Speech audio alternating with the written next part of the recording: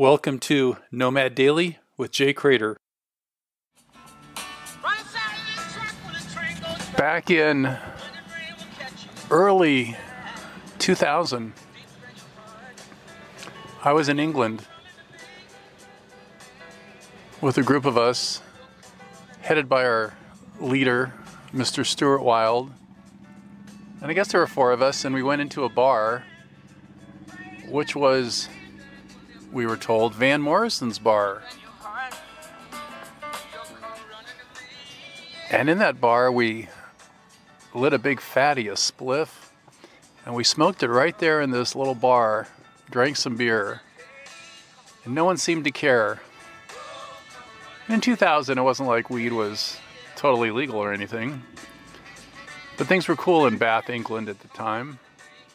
And I just always remember hanging out in Van Morrison's bar, smoking weed, drinking some beer with some pals of mine. That was a good day. That might have been the day I decided it was a good time for us to go live in England for a year, which we did.